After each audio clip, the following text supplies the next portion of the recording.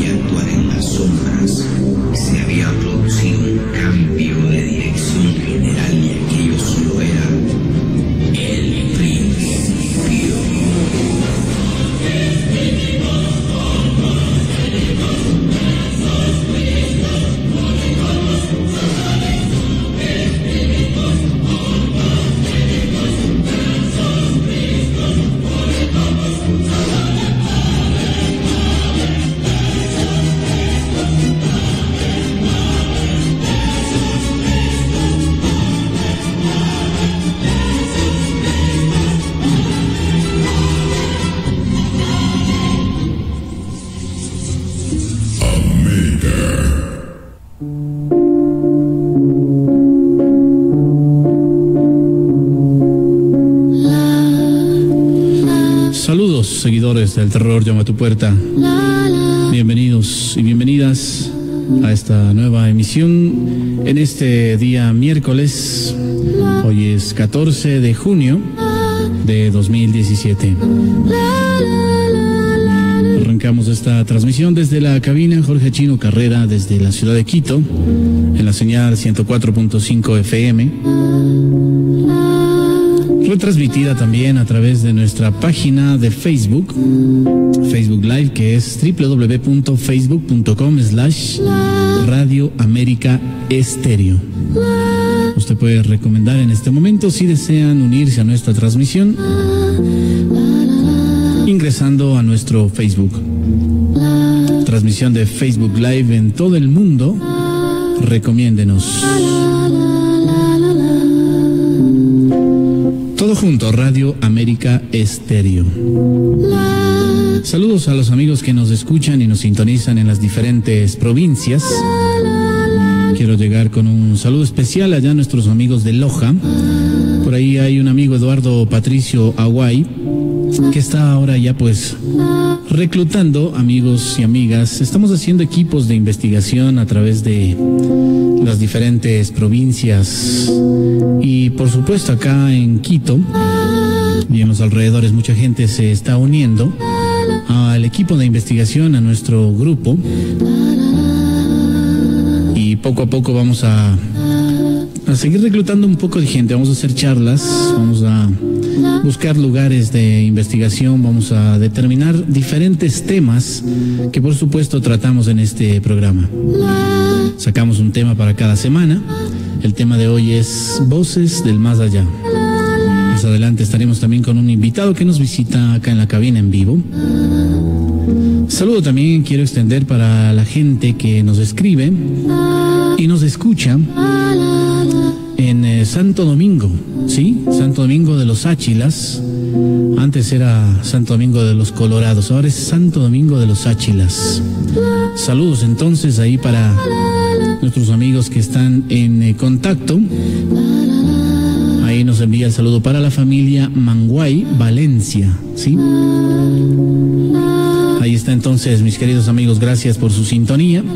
A la gente de Cuenca también, por supuesto, qué gusto saludarles y decirles bienvenidos y bienvenidas a esta noche de misterio y terror. Saludamos poco a poco también a quienes ya siguen uniéndose a nuestra transmisión.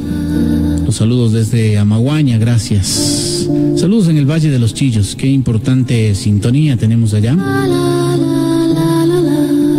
Ahí están entonces todos conectados ya para arrancar esta emisión.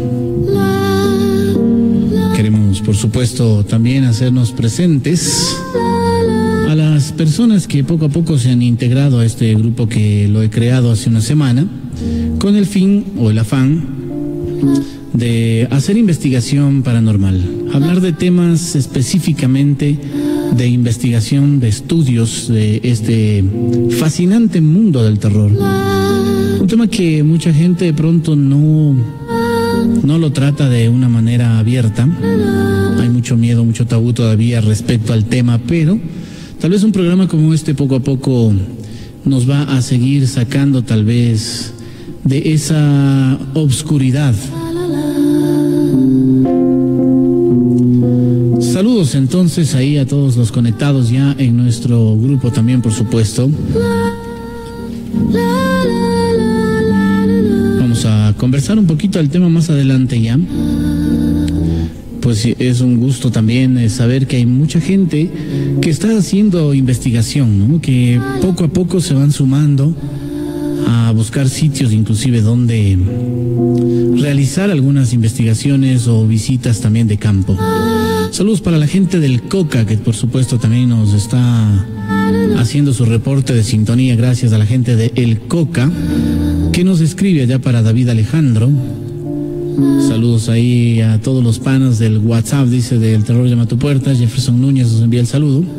Saludos para Paulina García del barrio Chilena. Javi Vaca. Se van conectando ya poco a poco a través de esta transmisión. Comparta también a través de sus diferentes redes sociales para que nos sigan a través de este programa. Saludamos ahí para Lenin Simbaña, Eduardo Patricio Aguay, que está desde Loja, nos envía los saludos. Josué Peñaranda, Carlos eh, Chantataxi, sí, ahí están conectados ya y empiezan a dar un reporte de sintonía también que se van uniendo a este programa. Fabián Larrea, Javier eh, Ramírez, Viviana Takuri, Darwin, saludos René, Alejandro, Darwin. Bueno, y poco a poco se están conectando también compartiendo nuestra esta programación a través de Facebook Live, por supuesto. Edwin Tamayo, por ahí nos envía la imagen también de que ya está retransmitiendo la programación. Ahí saluditos para Alex Morales, Víctor Silva, René Alejandro Mereci, ¿está bien? Diego Álvarez. Bueno, y toda la gente que poco a poco se está ya sumando a esta transmisión. 23 horas 18 minutos. Tema inquietante este de las voces del más allá. Muchos lo asociamos con el tema que originalmente, digamos, o de dónde nació, se deriva este tema.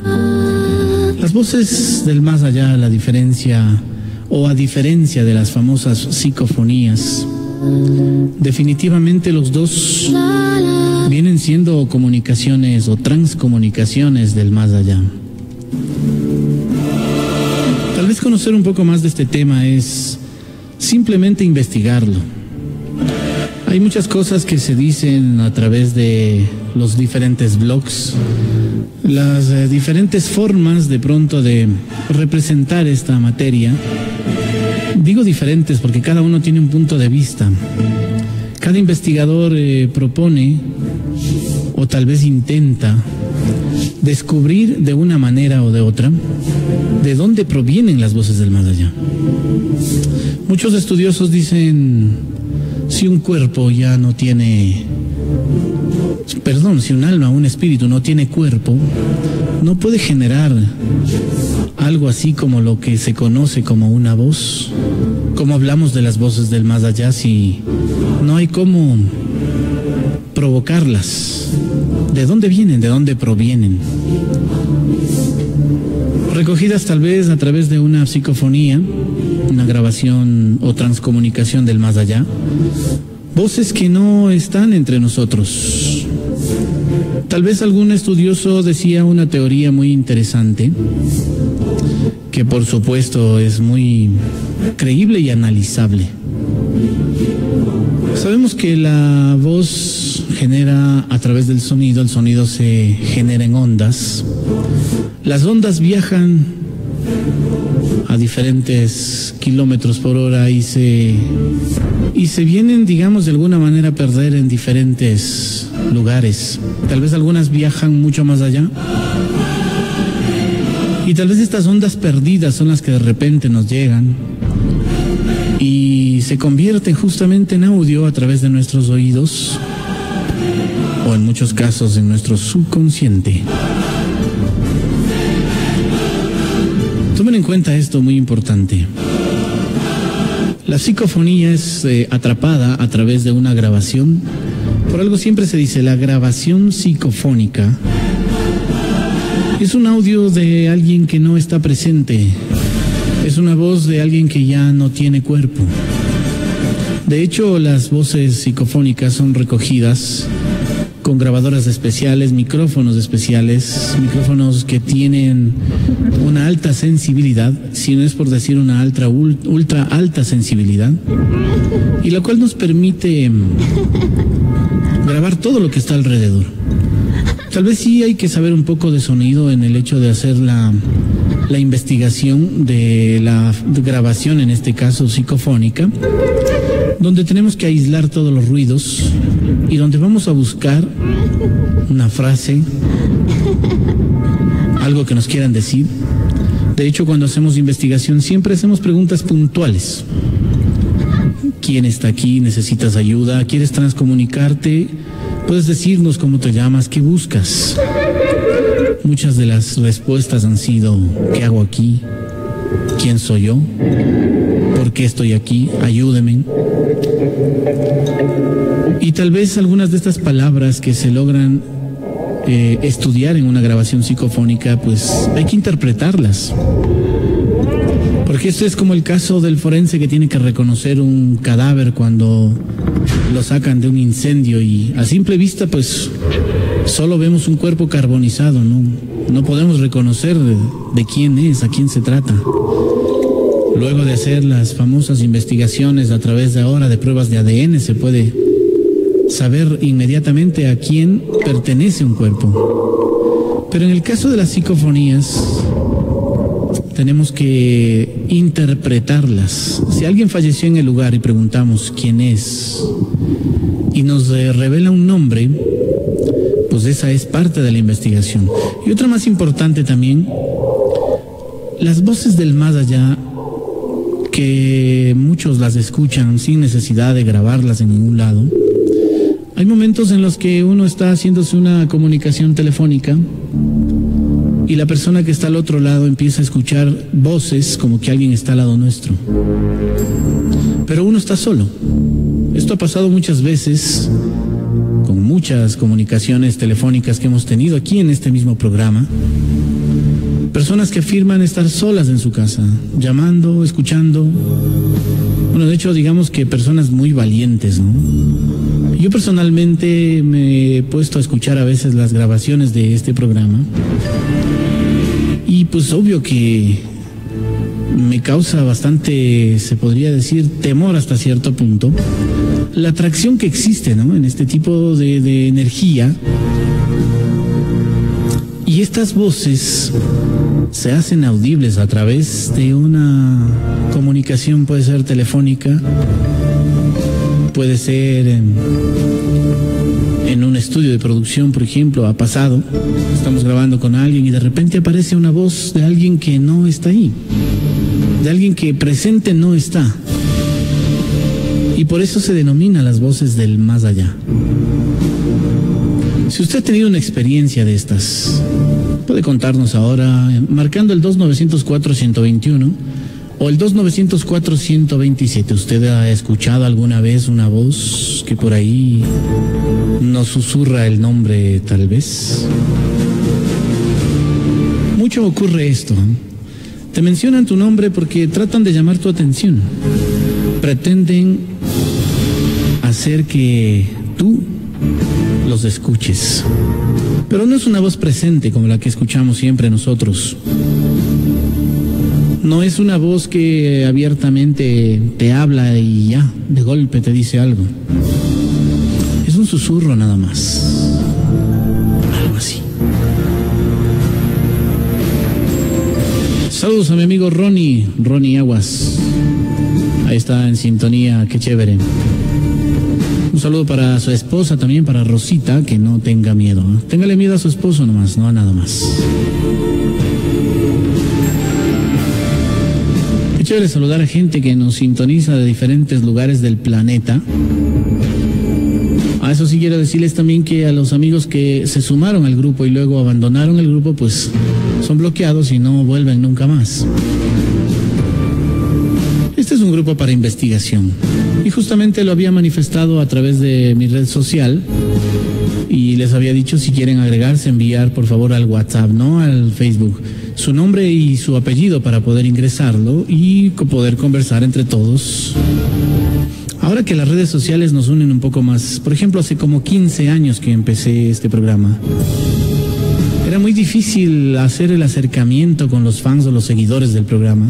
En este caso, más que seguidores, investigadores del tema, gente que tenía a su cargo fotografías, audios importantes, videos inclusive, porque recordemos que las filmaciones antiguas eran un poco más fiables para este tipo de investigación.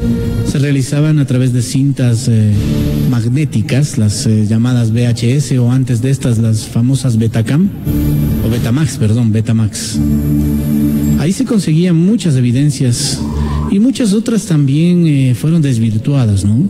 Porque al grabar en una cinta vieja, sobre esa cinta a veces se quedaba todavía la, la grabación anterior, se sobremontaba con la grabación actual y provocaba un efecto visual eh, como sobreponer una imagen. Entonces este tipo de investigación venía dándose las vueltas durante meses o años tal vez para conseguirla. Por el contrario, ahora pues con esta tecnología, este grupo de WhatsApp que lo he puesto con mi número, que es el 0992 871210 si usted es una persona que sigue este tema y que desea aportar con algo a este programa, pues le invito para que se integre con nosotros. Que hablemos de este tema de una manera seria este es un tema que hay que tratarlo de una manera seria.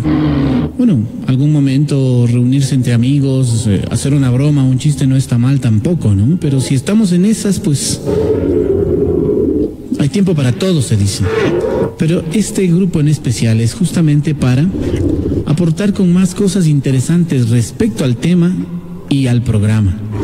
Así que si usted es de las personas que puede aportar y tiene algo que pueda contarnos, alguna historia que nos envían, cosas que podamos mostrar aquí en el programa, audios que podamos hacer, así como invitamos gente también ahora que nos visite y que nos cuente alguna historia o alguna anécdota del tema, pues bienvenidos.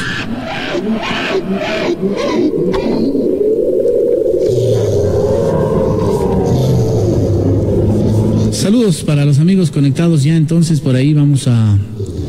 Dice por acá, eh, hola Rayo, me llegó una llamada, dice, por de puros ceros y unos. Algo así, la llamada nunca se grabó, dicen las llamadas, solo se escuchaba estática. Eso nos cuenta Alexis. Bueno, esto puede pasar desde el punto de vista tecnológico. Ustedes saben que la comunicación eh, electrónica o digital está compuesta de unos y ceros. De hecho, todo lo que nosotros vemos en nuestra computadora, a la gente de España que lo conoce como su ordenador, pues es con unos y ceros, es la es el lenguaje binario se llama, ¿sí? A quienes estudiaron de pronto algo de computación, se llama lenguaje binario. Se compone de unos y ceros y es a través de eso también en lo que se conectan en sus celulares. Todos los mensajes que nosotros enviamos, todo lo que sale a través de Facebook, llega a través de WhatsApp, es comunicación binaria. Esos unos y ceros en combinaciones grandes de diferentes, eh, se podría decir, especie de fórmulas, se convierten como antes se interpretaba, por ejemplo, la clave Morse. Cada cierta cantidad de, de toques daban la formación de una letra y luego se formaba una palabra y por ende pues se ha dado de esta manera las comunicaciones. Entonces es posible que una llamada perdida te llegue de esta manera por alguna equivocación electrónica a través de tu celular. recuerden que el celular ahora es una microcomputadora, de hecho está compuesta de muchos microchips, similares a las de una PC, laptop. Bueno, la tecnología es demasiado compleja ahora, ¿no? Muchos piensan que es terrestre, pero no es nada que eso. Sabemos que no somos dueños de toda la tecnología. La tecnología que ahora tenemos es es de nuestros primeros hermanos. Ahora hay que averiguar de qué planeta viene. Brian dice, qué miedo, a mí me pasó, dice, se prendieron las alarmas de los autos dentro del automotriz y no hay nadie dentro, sí mismo, dice. Por ahí leía yo esta semana, alguien en el grupo nos comentaba algo respecto a una historia del aeropuerto de Tababela. No sé si de pronto puedas eh, conectarte con nosotros, amigo. Eh, a ver si nos cuentas un poquito de eso, ¿ah? me parece interesante. Hemos escuchado muchas, muchas historias del, del antiguo aeropuerto, ¿no? Eh, recientemente incluso alguien ha comentado cosas extrañas. No hay cómo ingresar a este parque porque es un parque privado. En las noches me parece que esto está bajo el mando de Quito Turismo. Me parece que están a cargo de este parque. Me interesaría mucho, no sé si alguien que escucha el programa o tendré que elevar un, un oficio de parte del programa para solicitar un salvoconducto y poder ingresar a lo que eran las antiguas pistas de aterrizaje, más que nada en el área de la Tufiño más o menos, ¿sí? Ahí es donde se accidentaron varios aviones, donde mucha gente murió. Refirámonos de pronto a un accidente fuerte y grave que hubo, que fue el avión cubana de aviación. Y muchos años atrás, un avión que era un avión de carga, tal vez alguien que viva por los y si se quiere comunicar conmigo o quiere enviarme tal vez un mensaje, yo le devuelvo la llamada para conversar al aire. Hubo un gran accidente allá por los años 97 o 98 me parece que fue, voy a averiguar un poco más, pero un avión de carga se elevó del aeropuerto y de repente cayó en el sector de la Rumiñahui, ¿sí? Mucha gente contaba con terror que veía partes del fuselaje en su casa, y bueno, pues como era un avión de carga, había mercadería por todos los sitios del barrio. ¿no? Decía la gente que encontraba eh, partes de esta mercadería inclusive todavía intacta, ¿no? Otras estaba quemado y bueno, fue una desgracia terrible. Eso como parte de lo que fue el antiguo aeropuerto. Ahora no sé si nos puedan contar eh, entonces eh, cómo va esa onda del nuevo aeropuerto, que hay varias historias de las que se tejen alrededor. Y pues próximamente vamos a hacer un estudio bastante adentrado, digamos así. Esperemos tener ese salvoconducto. De hecho, lo que pretendemos es tampoco causar problemas, no hacer daño a nadie, porque irrumpir en propiedad privada, y eso es muy importante, amigos seguidores de este, de este programa del terror, a quienes son los seguidores ahora de los grupos de, de, de investigación, tomemos en cuenta y seamos muy conscientes Hablemos con propiedad. No digamos las cosas a la ligera y reunámonos y vámonos al cementerio y vámonos a las iglesias o vámonos a cualquier sitio que todo el mundo quiere irse, al hospital, a todo lado. No, eso no se hace así. De hecho, la investigación paranormal no funciona de esa manera. No se trata de invadir sitios, no se trata tampoco de irrumpir en un cementerio. Recordemos que un campo santo o cementerio conocido es un lugar privado donde enterramos a nuestros muertos y no es que no hay ni Dios ni ley, no, esto está bajo un mando de un gerente y obviamente hay que pedir un salvoconducto para cualquier cosa porque al ser privado de pronto muchos familiares no saben dar un permiso como para que puedas ir y filmar libremente, así que hay que tomar en cuenta muchas cosas y para esto justamente, para culturizarnos un poco más de este tema, es que estamos invitándoles para que sean parte de nuestros equipos de investigación y así podamos orientarles un poco más. Recuerden que tienen que ustedes escribir su nombre y apellido al número de WhatsApp, no al Facebook, porque no tiene sentido. El Facebook no es WhatsApp. Les, puse yo ahí que pueden registrarse con nosotros a través del número de WhatsApp. Dejen su nombre y apellido y serán agregados luego al grupo. Y de ahí vamos a ir comenzando un poco, ¿no? Cuando hemos hecho investigación decimos, invitamos a gente que quiera eh, acompañarnos. Hay veces llegamos a la locación y ya no quieren ni entrar. Porque obviamente es un tema que tratarlo así a la ligera no conviene. Y por esto lo hemos aislado una vez por semana a esta estación de radio Durante dos horas conversamos abiertamente de esto y por supuesto saludos a la gente de, de nuestra conexión a través de Facebook Live. ¿Para qué es el grupo? Dice. Bueno, parece que no escuchó desde el principio nuestra amiga Vivi Liz.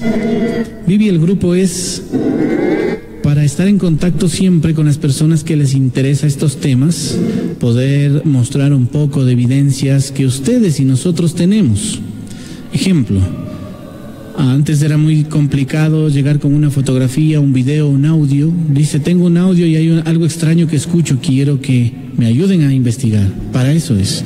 Tienes una foto donde tienes una luminografía, un rostro que no puedes definir Acá con Harold Hernández podemos analizarlo. Por supuesto, Harold maneja mucho el programa de edición de foto.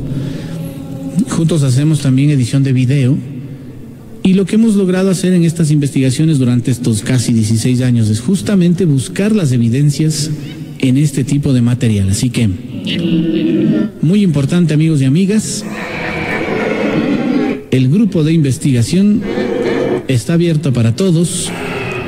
Simplemente pueden agregarse a través del 0992 87 12 10. Lo voy a agregar aquí en el Facebook para que lo tengan también. 0992 87 12 10. Sí, vamos a crecer con una gran comunidad con la cual vamos a lograr traer más condumio, se podría decir, más cosas que tratar aquí al tema, más cosas importantes que llevarles a ustedes, amigos oyentes, en el mundo entero, parte de la investigación que se está realizando en Ecuador, específicamente en Quito y alrededores. Hemos tenido invitaciones también por la gente de Guayaquil, la gente de Manabí, donde hay lugares enigmáticos que visitar, donde hay parques, donde se logra ver cosas muy extrañas o escuchar inclusive, ¿no?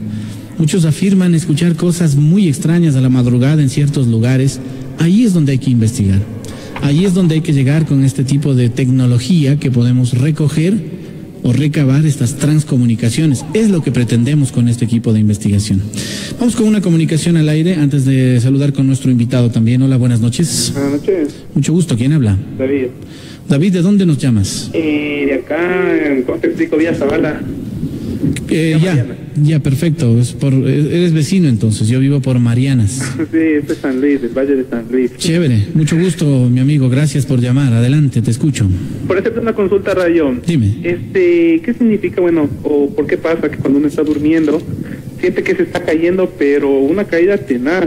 Eso me pasa bastante. No sé si sea por una cuestión de estrés o algo un poco más, más místico. Y te iba a preguntar, la otra vez, la semana pasada dijiste que había chance de ir a compartir cabina ya contigo. Así es. Entonces, no sé, si de pronto a mí me interesaría ir la próxima semana. Perfecto. Toma nota, mi amigo. Apunta mi correo. Ya, eh, dame cinco. Uh, Facilísimo, rayoman.net arroba hotmail.com. Ya. Sí, envíame tus datos, nombres, apellidos, número de cédula. Ya. Y si vas a estar el próximo eh, programa, dime ahí, voy a estar el miércoles tal fecha y todo, y acá te ponemos en pauta, ¿vale? Yo Ya. te respondo el correo y queda confirmado, ¿vale? Ya, pues, Rayo. Muchísimas gracias. Ah, que pases muy bien. 23 horas 38 minutos. De hecho, alguien me confirmó en esta semana justamente y lo tenemos acá. Vamos a saludar. ¿Cuál es tu nombre? Buenas noches. ¿Cómo está, Rayo? Alex está acompañándote aquí. Alex, ¿qué? Alex Angulo. Perfecto. ¿Tú vienes de qué barrio? Eh, lo- como estabas diciendo, de por la Rumiñahui y la Real Audiencia. O sea, más o menos Ah, por la Avenida del Maestro. Entonces tú debes haber escuchado más o menos la historia a la que yo me refería. ¿Cuántos años tienes tú ahora? Eh, 22. Entonces debes tener la, la mitad de edad o un poco menos inclusive cuando este accidente sucedió. Sí, la verdad sí. Eh, bueno, eh, buenas noches a todos. Eh, bueno, como te podría decir, yo también me he enrolado bastante desde que les he escuchado a ustedes sobre en estos temas. También tengo personas que me ayudan y hemos igual hecho investigaciones poco a poco de lo que hemos podido en casas y casas botadas en las cuales podemos conocer, ¿no? Y quería comentarte sobre lo que tú mismo decías en, en el- lo que es en el aeropuerto. Eh, una, como la- el parque abren a las 5 de la mañana. Yo sé de ir a, hacer deporte los domingos. Y un día igual fui con, con mi perro. Eh, estábamos eh, llegando a correr y en ese caso comenzó mi perro a comenzar, comenzó a hacer mucho, mucho, mucho alboroto, o sea, se comenzó a alborotar, comenzó a como querer salir corriendo. En el parque. En el parque, sí. llegando- Bicentenario se llama, ¿no? Sí, en el Parque Bicentenario, más o menos por donde ahorita, no sé si ya estará todavía botado la, la tierra, que está más o menos a la parte de la Luis Tufiño, la salida de la Luis Ya. Tufiño. Por donde el túnel incluso se Es- cayó. es- es el mismo, por ahí mismo. Entonces estábamos eh, ahí, entonces me comencé a acercar y aunque no me creas, vi una persona sentada en, sí- en como un tipo hueco, como había tierra botada ahí. Creo que estaban en planes de hacer el, este nuevo colegio Benalcázar, creo que iba a ser ahí más o menos. Entonces estaba desbancado. Entonces ahí comenzó, a- vi una persona, una persona sentada y se me hizo raro, ¿no? Porque estaba esas mallas de una había unas mallas, estaban unas mallas alrededor. Y como te te mencionaba, mi perro comenzó a alborotarse, como quiso querer salir corriendo y La malla era justamente para evitar que la gente ingrese o salga al lugar, ¿no? Sí, comenzó, sí, pero había un, un lugar al lado de la de la pista, de la de lo, bueno, por donde es la, la pista atlética de las personas, que se ve directamente hacia ese lugar como un hueco. Entonces ahí se vio a esa persona, le vi a esa persona sentada, pero como le digo, mi perro me comenzó a, a alar hacia un lado, comenzar mira, o sea, como que no ¿Qué quería llegar- sentiste tú cuando miraste eso? La verdad, no, no, no, o sea, no, no me, no me ¿No te llegó. dio miedo? No, porque como le, te menciono, yo también me dedico a esto mismo, me encanta bastante lo que es la, estos temas de la paranormal, ufología, entonces no me dio miedo, de hecho quería acercarme, pero como te digo, las vallas no me dejaban. Quería acercarme para ver si es que estoy viendo mal o estoy viendo bien. Y eran, te digo, las 5 de la mañana, que es lo que abre. Entonces yo me voy a hacer ese tiempo de ejercicio para, para correr porque no hay, no hay mucha gente igual. ¿Ya? Entonces te menciono este, este tema, en esa parte de ahí. Bueno, esto pues dejó una estela muy grande de, de muerte y desolación porque de lo que se recuerda a la gente que vivió los accidentes, pues casualmente por esto es que el aeropuerto se lo trasladó a un lugar fuera de la ciudad. Para quienes no conocen, yo tampoco conocía, esto me contó mi abuelo, luego indagué un poco en la información. El aeropuerto de Quito era en su tiempo o en un tiempo alejado de la ciudad, cuando era acá en el Labrador. Se supone que el Labrador o del Labrador hacia lo que es el centro de Quito hay una distancia bastante grande, ¿no? Bueno, al menos en las épocas antiguas más, porque no era todo el pavimentado y todo como ahora. Entonces se dice que no había muchas casas en el trayecto desde lo que era el centro de Quito hacia donde el aeropuerto funcionaba, donde se inauguró el aeropuerto Mariscal Sucre. Pero con el tiempo, tal como sigue sucediendo ahora, sigue avanzando las construcciones, siguen avanzando y siguen llenándose, ¿no?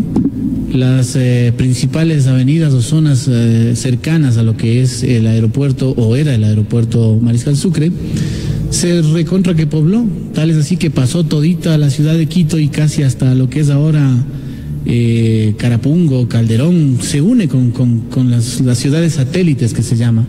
Entonces llegamos a quedar adentro del aeropuerto, en medio del aeropuerto, prácticamente el aeropuerto, digamos, estaba en medio de la ciudad. Y pasaron tantos años para que se logre este proyecto nuevo y se lo lleve a Tababela. Pero ya pasó muchas cosas. Ahora se dice que el barrio de la Rumiñahui, pues, está de alguna manera acostumbrándose ya al silencio de un vacío que ha dejado el aeropuerto. Todo el mundo estaba acostumbrado a escuchar que el avión ya le caía encima. Porque literalmente los aviones ahí pasaban ya por los techos, casi topando los techos para aterrizar. Y es justamente la gente del barrio La Rumiñahui los más afectados que, vivían, porque estaba justamente ahí. Eh, se le veía, como digo, el avión ya que ya llegaba encima de las casas. Y cuando uno de estos aviones caía y cuando peor había una explosión, era algo fatal, porque mucha gente pues lamentablemente perdió la vida en este accidente. Y en muchos otros que se han comentado, ¿no? Inclusive alguna vez me parece por ahí que eh, se salió de la pista, incluso un avión, alguna vez un avión de Iberia, me recuerdo que se salió de la pista y otro fue el avión de Barcelona, creo que también quedó por ahí mal parqueado. Pero bueno, fue algo terrible lo que había sucedido ya y afortunadamente pues ahora en el lugar donde está no ha habido hasta el momento, gracias a Dios, ningún accidente, así que esperemos que esto siga de esta manera, pero sería interesante, como digo nuevamente, que nuestro amigo que nos contaba esto de cómo era, eh, eh, cómo es, perdón, ahora lo que es el, el nuevo aeropuerto de Tababela. Hay muchas historias que ya se tejen desde ya. No es inaugurado todavía ni mucho tiempo, pero ya hay unas historias bastante extrañas. Saludamos para la gente que nos sigue a través de la transmisión en Facebook Live. Saludos a Juanito Moyano, dice que no tenga miedo, que no salga debajo de la cama. Vivi Liz dice, sí lo vi. Ah, ya, bueno, está conversando de algo. Chamaco Roosevelt dice, mi mujercita dice, ya llegó. Si no conoce, se desespera, dice, por, por su esposo, que no tenga miedo. Saludos a la gente del Beaterio que nos está escribiendo también ahí para Giovanni Calero. Saludos para los amigos que nos están escribiendo desde la parte sur de la ciudad. Muchas gracias, sector de Aloaj. Saludos a la gente de Guamaní también, por supuesto, que está allá al sur del sur, a Marbel Bravo Palacios. Gracias, Mabel, por tu sintonía. A los tiempos escucho este programa. Los felicito. Saludos eh, desde la provincia de Galápagos, Darwin Inacasa. Saludos Darwin, gracias por tu sintonía. Qué gusto poder saludarnos. A más o menos 20 mil kilómetros de distancia se encuentran ustedes. Daniel Páez nos dice por acá, el avión de Barcelona, hasta en eso son malos. Dice, ¿qué pasó Daniel? Por favor, ya empezó. Así empezamos. La gente que son de un género musical y de otro, siempre en un Facebook se empiezan a insultar. ¿Por qué? Porque no son el uno y el otro simpatizantes de un cierto género de música. Lo mismo pasa con los equipos de fútbol. Seamos un poquito más tolerantes, amigos. Buenas noches, Rayo. Me gustaría contarte una situación extraña que me sucede hace cuatro años. Puedes darme, por favor, el número de móvil para escribirte al WhatsApp. Mil bendiciones a tu persona y éxitos. Gracias por tu programa. Daniel, por favor, es el 0992 87 12 10. Facilísimo. 0992 87 12 10. A través de este Facebook, perdón, de este WhatsApp, pueden enviarnos ustedes también entre semanas sus historias. Tomen el, el, el móvil y cuéntenme la historia de la manera más completa, así como lo puede hacer a través del teléfono, por ejemplo. Si se jala, no importa, yo edito todo eso y traigo la historia para ubicarla aquí en el programa en vivo. Lo importante es compartir un poco más de vivencias, relatos personales. Saludos, Rayomante. Sintoniz eh, sintonizamos desde la ciudad de Ambato, dice, por favor. ¿Puedes hablar sobre la parálisis de sueño?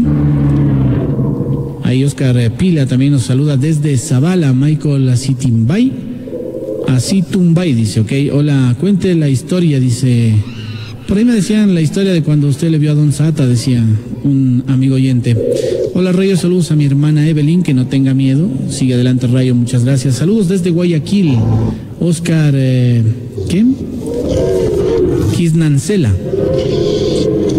Saludos amigo Oscar, gracias por tu sintonía desde la Perla del Pacífico, desde Guayaquil. Machala presente, nos dice Luisín eh, Pachala, gracias Luisín.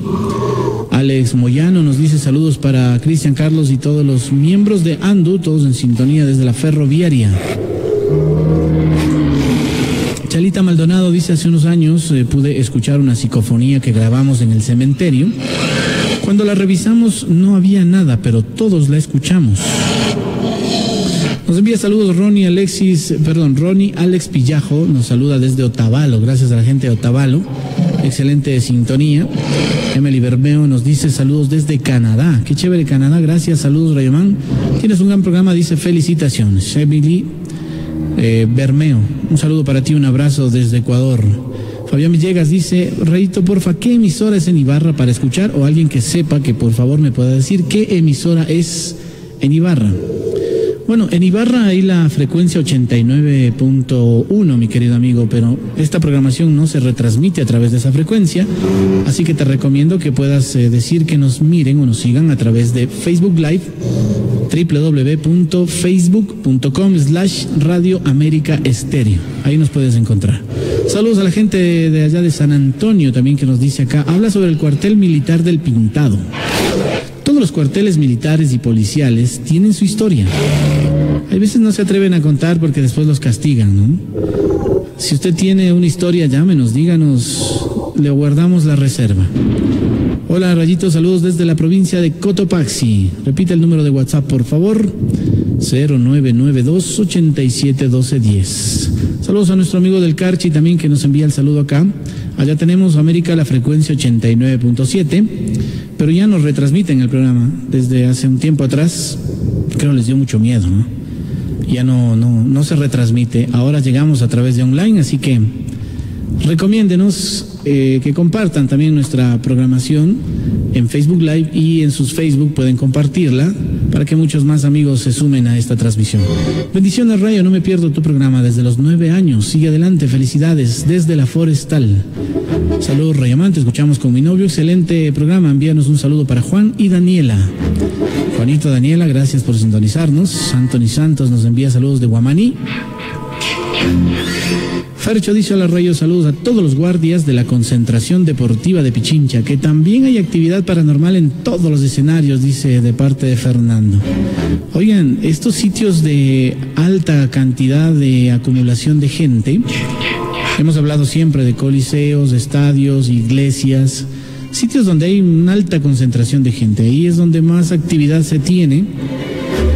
Y son lugares donde quisiéramos investigar, pero a veces el salvoconducto no nos favorece. Esperemos conseguirlo. Si alguien tiene la forma de conseguirnos un salvoconducto para ingresar a estos lugares, háganos saber. Hola Rayo, saludos desde Nueva York. Excelente programa. Edwin Giovanni Nieves nos escribe. Gracias Edwin. Saludos, bendiciones desde este lindo Ecuador. Bueno, Seguimos más adelantito mismo con los saludos que siguen ingresando acá, por supuesto. Vamos a ubicar una, a ubicar una historia mientras eh, por acá también seguimos entrando en calor, como dicen. Cuando son las 23 horas 51 minutos, ya dejó de llover en la ciudad de Quito. Estos días han sido bastante lluviosos y qué pena también, pues que han habido muchos. Eh, han habido muchos accidentes, ¿no? Recientemente supe del desplome de un muro donde murieron algunos niños, qué pena. Es algo terrible, ojalá Dios quiera ya cambie el clima ahora sí y ya nos encontremos en el verano, porque ha sido un verano lluvioso. Como muchos decían, este es el famoso verano traidor, decían. Saludos a toda la gente entonces que se va poco a poco sumando y que quiere sumarse a este grupo de investigación. Vamos a agregarles, eh, déjenos su nombre y apellido a través del WhatsApp 0992 871210 y van a ser agregados paulatinamente. Recuerde que si usted abandona el grupo que ya fue incluido, mm, se queda bloqueado y no vuelve a ingresar más. Así que hay una opción ahí en el WhatsApp donde usted puede tenerle aplastado sobre el grupo y le sale la opción de poner silencio. Usted puede silenciarlo durante ocho horas, una semana, un mes, un año si quiere y así no molesta, porque es cierto que cuando uno se agrega a un grupo es molestoso, cada que alguien escribe hasta que suena y que suena. Yo, por ejemplo, cuando voy a dormir le pongo ahí silenciar ocho horas, porque si no, matan dirás algunos, no mentira. 23 horas 52, regresamos para seguir conversando con más, aquí en vivo a través de El Terror llama a tu puerta. Vamos con una de las historias, contribución de este grupo de El Terror en el WhatsApp nos enviaron algunas historias. Bueno, una de las que me pareció interesante aquí está. Aniversario de la muerte. Es una noche cerrada, cuando un muchacho que vuelve a casa en su coche descubre en el borde de la carretera a una chica que hace autostop. La chica parece aterrorizada y helada, por lo que el chaval decide pararse, ayudarla y acompañarla a la casa. Como se suponía, ella está velada, por lo que le presta su chaqueta. La chica no es muy habladora, así que es él quien habla casi todo el trayecto. A la mañana siguiente, el muchacho se da cuenta que la muchacha se llevó su chaqueta a casa para recuperarla y para volverla a ver, pues era muy linda. Decide volver a casa de ella, donde la había dejado la noche anterior. Cuando llama a la puerta, una señora no muy mayor, pero sí desmejorada, abre la puerta. Él le explica todo lo sucedido y pregunta por su hijo. Conforme al relato del chico, la mujer palidecía más y más. Terminó rompiendo en llanto. Tras recuperarse del shock inicial, la mujer le pide un momento al chico. Entra al interior de la casa y vuelve al poco tiempo con una foto. Se la muestra al chico. Es una foto en la que se ve la chica de la noche anterior. La dama llena de dolor y con la cara llena de lágrimas le cuenta que la chica era su hija. Ella murió en un accidente de coche un año atrás en la misma carretera en la que supuestamente la encontró. La noche anterior exactamente era el aniversario de su muerte. El chico, escéptico, va al cementerio a comprobar si es cierto lo que dice. Y allí, el terror lo inmoviliza y le hace palidecer sobre una tumba, la tumba de la muchacha. Estaba su chaqueta.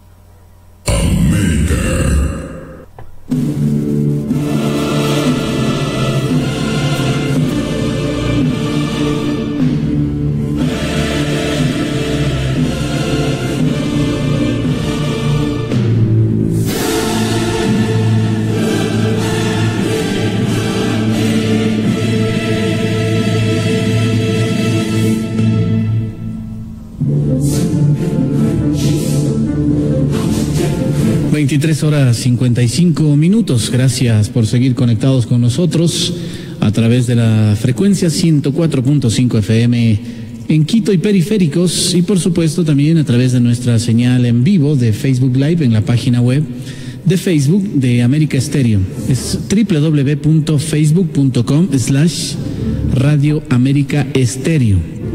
Mucho gusto a quienes están en contacto con nosotros acá a través de Facebook Live. Muchas gracias por estar en sintonía. El gusto también de saludarles a quienes nos están enviando sus mensajes desde Manta. Qué chévere, ¿eh? gracias a la gente de Manta. Está también en sintonía la gente de Manabí, un saludo especial. saludito para Verónica Gavilanes, que también está en sintonía. me va a acompañar, dice, durante el programa bueno, veritos a quien le han matado de iras en estas semanas durante en lo que es el grupo del terror, ¿no? Porque por ahí discuten algunos que ponen cosas medias raras, dicen el grupo. Bueno, esperemos que ya cambien, ¿no? Que ya sea un poco más, más hacia el tema. Conversábamos acá en interno un poco. Hace años atrás yo hacía un programa donde también teníamos participaciones en vivo de gente que ganaron una vez una kermés en su colegio Gracias a Brian Segura, que nos saluda desde Riobamba. También buenas noches. Y son justamente alumnos o fueron alumnos del Central Técnico. Y en esa época me contaban también de cosas extrañas que sucedían. ¿Tú tienes alguna anécdota específica que nos puedes contar de este lugar? Claro, eh, como estaba comentándote en interno, pues eh, en ese tiempo eh, había un centro en la parte de, de lo que es ahora el centro de electricidad.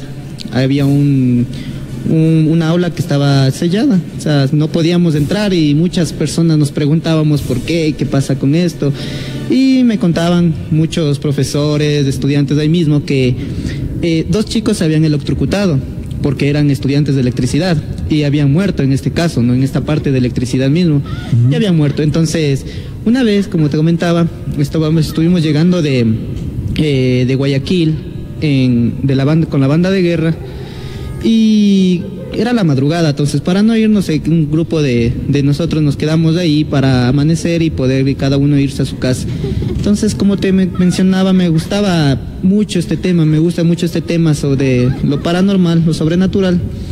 Y les dije, vamos a caminar por el colegio, vamos a ver qué hay. Y en esto nos vamos. ¿Qué hora era más o menos? Más o menos las 3 de la mañana, tres y media. Madrugado. Claro, estábamos llegando a madrugada. Entonces nos fuimos para este sector y se escuchó claramente pasos, o sea, pasos de, de, personas por ahí, a más de los nuestros. Y como eso había bastante hierba en ese tiempo, había un montón de hierba, se escuchaba la hierba como que había un rozamiento, de, un rozamiento con la hierba. Eh, mis amigos, muchos de ellos salieron asustados y se fueron a lo que es las aulas, a, a mejor ya meterse ahí, creo que a dormir ya. Nos quedamos más o menos como seis estudiantes ahí, nos quedamos, les digo, esperen, vamos, vamos a ver más, metámonos más en esta aula. Y nos abrimos, paso en esta aula, vimos por un foco, eh, perdón, por un hueco, y no me creerás lo que vimos. Vimos las máquinas funcionando y chicos, o sea, estudiantes, más o menos cinco estudiantes ahí o sea, y nosotros nos preguntamos. en el taller de electricidad a esa hora, a las tres y tanta de la mañana. Claro, tres y media, te digo, pero, está, pero ese taller estaba con candado, estaba con candado este taller. Entonces nos preguntamos qué, qué, o sea, ¿qué pasa? ¿Quién es? Y ni, de hecho no asomaba nadie, no pasaba nadie y, y, por la curiosidad, no sé qué, bueno, y la verdad me, quedé sorprendido por esto y se comenzó a escuchar muchas voces. Y en otra una de ellas se escuchó un grito, un grito o durísimo, como que se estaba recreando esto, esta escena que había pasado hace tiempo.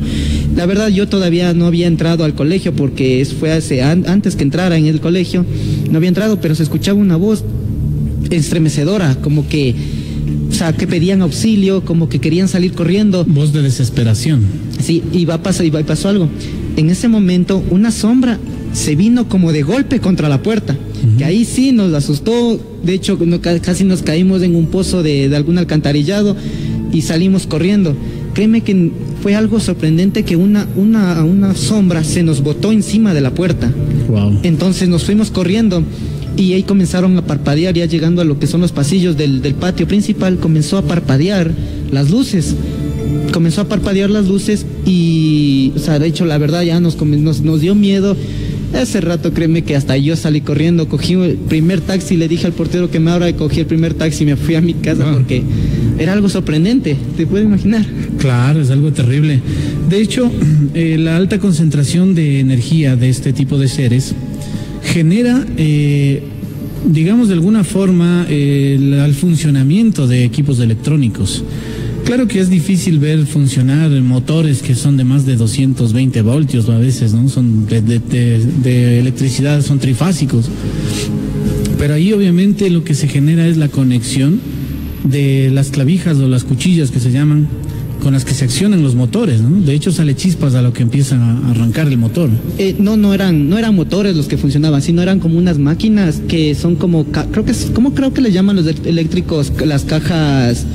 PC, PCA creo que son, o algo así les llaman. Entonces son unos aparatos grandes que solo tienen botones, que los que he visto, no, eh, pero... es, como que hubieran pulsado los botones. Eso, eso, como que comenzaban a, funcionar, pero no eran motores, o sea, eran estos aparatos.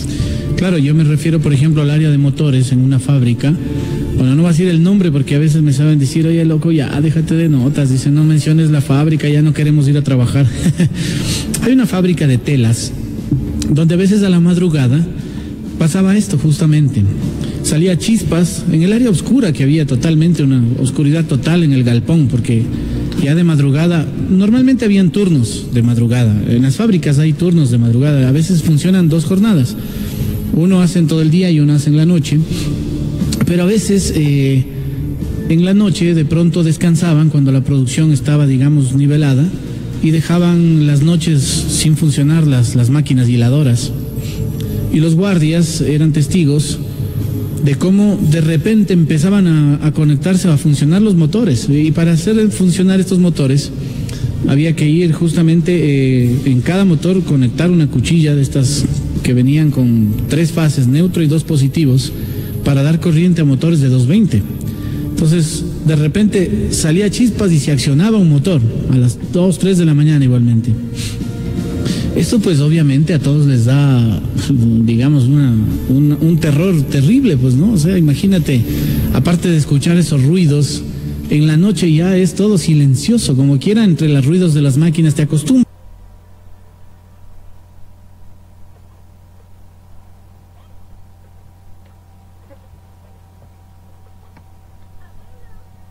Ya ese ruido que ya es normal.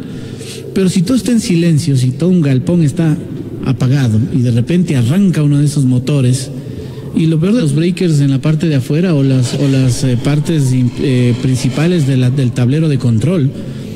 Inclusive luego tuvieron la precaución ya de incluir un sistema, un sistema digital que tenía llaves el cual desconectaba y quitaba el paso de la corriente desde afuera ya para toda el área de motores, porque inclusive era un poco peligroso, ¿no? En la oscuridad, imagínate un motor encendido hasta ahí prender las luces y todo.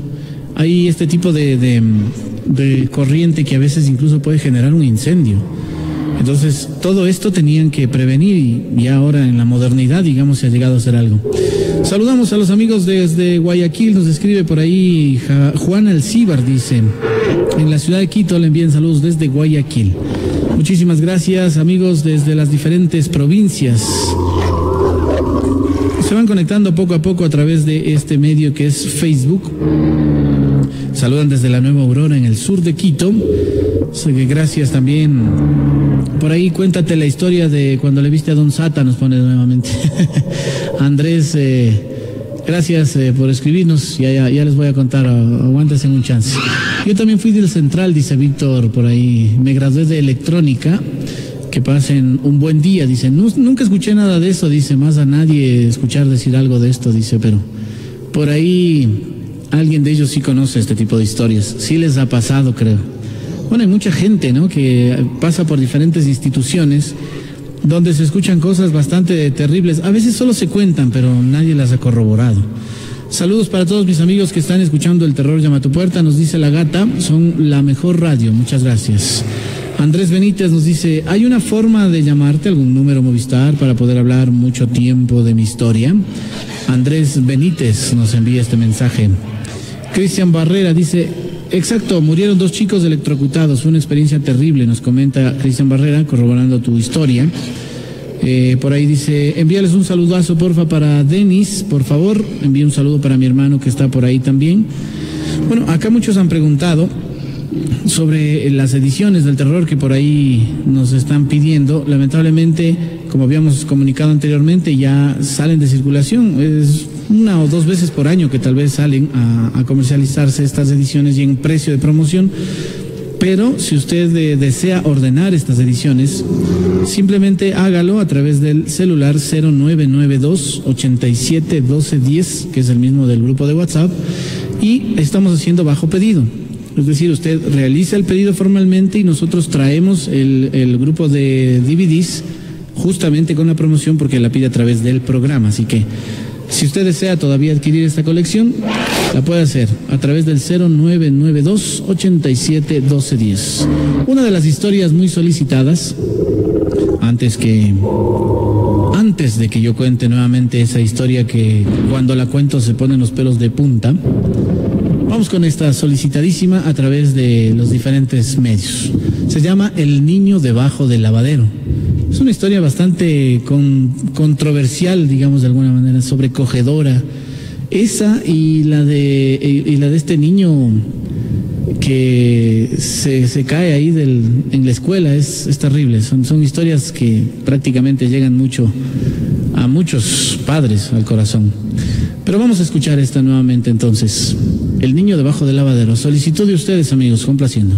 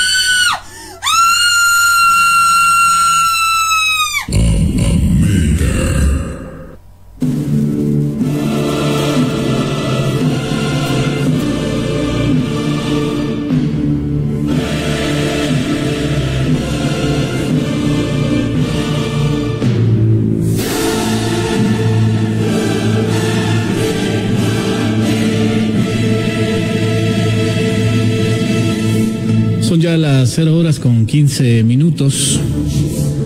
Saludos, gracias a quienes se van integrando a nuestra señal a través de www.facebook.com slash Radio América Estéreo.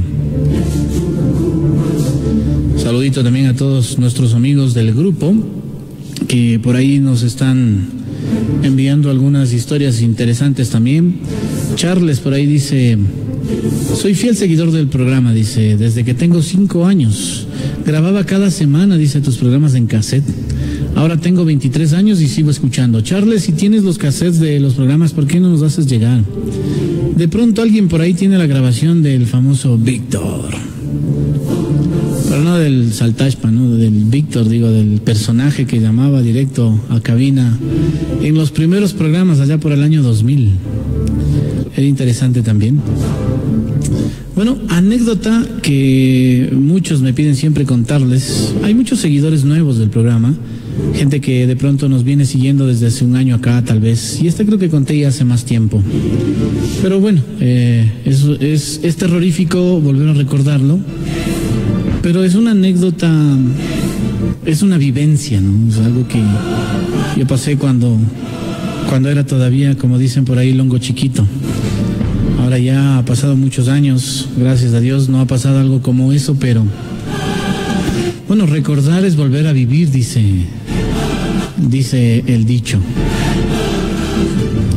Y siempre he contado de la misma manera, ¿no? Cuando más o menos yo tendría unos 18 años, o sea, reciencito. Yo eh, tenía, bueno, tocaba en un grupo que se llamaba en esa época eh, Grupo Láser. Sí, era un, lo que quedaba de la orquesta de mi abuelo, porque mi abuelo fundó el combo tropical Los Láser, allá por el, año 78 más o menos, por donde, bueno, pasaron muchos, eh, muchos artistas, muchos grupos, se formaron muchos cantantes. Y bueno, todos saben, no es para nadie novedad que la vida del artista siempre ha sido nocturna y siempre la asocian, a, bueno, ahora algunos exageran, ¿no? La asocian con las drogas y con el licor. Bueno, nunca se podría desconocer, siempre los artistas hemos sido medio bohemios. Bueno, yo en esa época todavía ya le entraba un poco al agua loca, como se dice, pero eh, la vida de una persona de esa edad es, y sobre todo si es músico, andar libando, ¿no? De discoteca en discoteca, de show en show cada fin de semana, viajar en provincias y todo lo demás. Y bueno, yo a los 18 años me casé de loco. Pero no era nada responsable, pues, o sea, yo, como quien dice, era un matrimonio de jóvenes en el cual cada uno estaba por su casa. Y yo, como decía, seguía en mi vida loca, o sea, andaba de arriba abajo. Producto de ese matrimonio, tengo una hija de 17 años que va a cumplir 18 años ya este mes de septiembre. Y es por esto también que siempre yo en el programa aprovecho y les digo, aconsejo, jovencitos, por favor, tomen en cuenta precaución cuando estén con alguien. No se endeuden para toda la vida porque el precio es caro. es demasiado caro y, y bueno, hay muchas cosas que para qué hablar. Entonces, en esta época que yo tocaba en este grupo láser, con mis familiares y todo, como digo, era bien, bien zafado, bien loco. Y pues obviamente ya estaba metido un poco en el estudio, de, o bastante, digamos, en el estudio del tema, del terror. Buscaba libros, enciclopedias, películas, gente que conozca del tema. Desde los ocho años estoy en la investigación yo, desde que se murió mi tío. Justamente yo heredé el instrumento que él tocaba, él era baterista de la orquesta. Cuando él falleció allá por el año 86, yo empecé a dar mis primeros pasos en la música y me involucré en lo que es este tema de andar de arriba abajo haciendo música. Pero como digo, era bien, bien, bien zafado en ese tiempo, pues, en el sentido de que solamente pasas el fin de semana reunido con amigos, con, con amigas, de fiesta en fiesta, dormías aquí, amanecías por allá, pese a que ya estaba supuestamente en esa época casado y todo el relajo seguía tenaz. Ensayábamos ahí en Chimbacalle, en la calle Antizana y Liniza, que es justo por, por la Ciudadela México casi, sector de las iglesias. Ahí me acuerdo del padre René Cova, que era el que me bautizó, ahora ya es monseñor. Bueno, yo tenía que salir en esa época.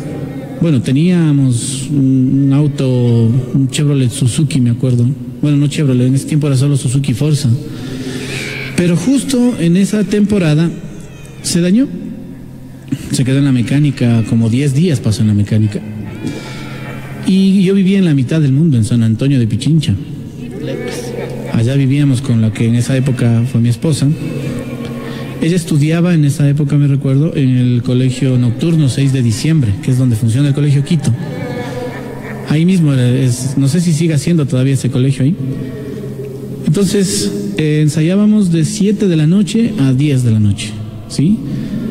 En ese lapso, mi esposa estudiaba, o la que era mi esposa en ese tiempo, mi ex esposa, estudiaba ahí en el colegio en el colegio 6 de diciembre. Entonces, yo ensayaba hasta las 10 de la noche y salía a donde ella la pasaba recogiendo, cogíamos un trole ahí en la parada que es de los molinos, más abajito, la parada de estación de Chimbacalle. Tomábamos el trole y nos llevaba hasta la estación de transferencia de la 10 de agosto y la Y.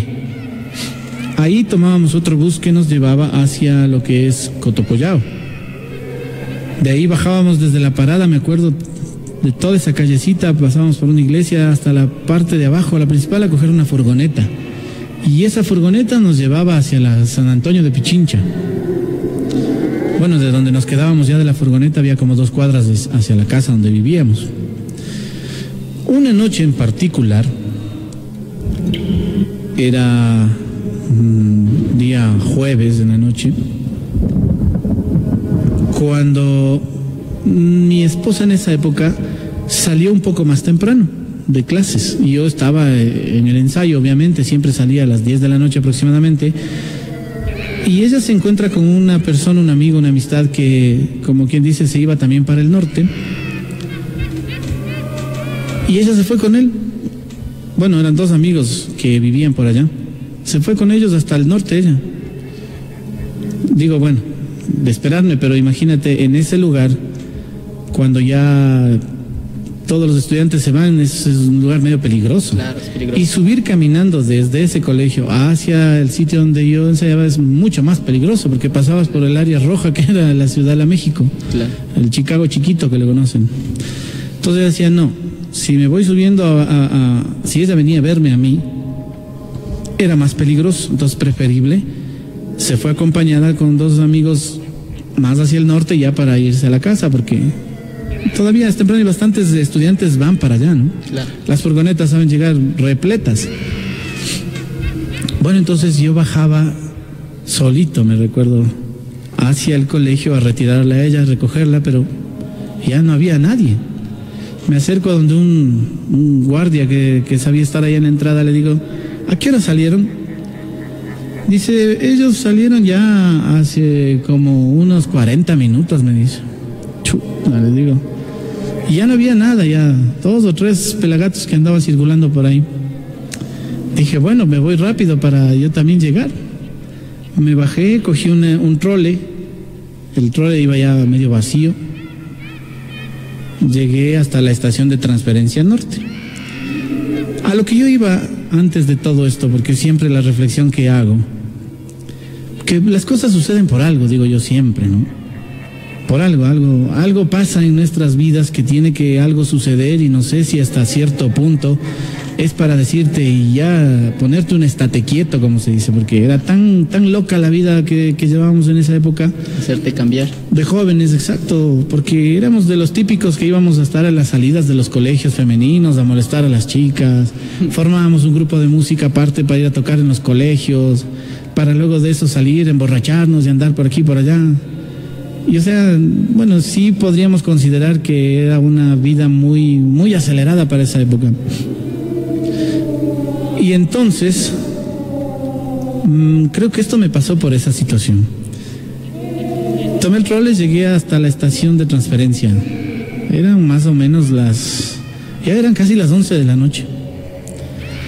Y antes, bueno, ahora parece que el trole incluso funciona 24 horas, dicen, no sé. Eh, sí, pero no, Y operan, no, ¿no? no toda la noche. Ah, ya bueno, pero dicen que opera ya más de las 11. En esa época, yo siempre me recuerdo, a las 11 de la noche pasaba el último alimentador hacia Cotocollao. Claro, eso sí. O sea, era el último y se acabó.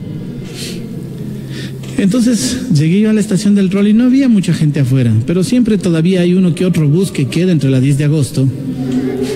Y yo entré corriendo porque justo cuando iba poniendo la moneda en esa vaina para entrar, salía ya el bus que, se, que estaba en la fila del- de los Cotocollao.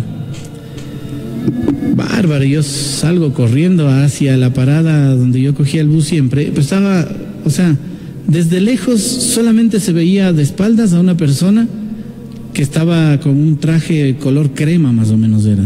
Un traje ni más ni menos, color crema, un, un terno. Estaba de espaldas.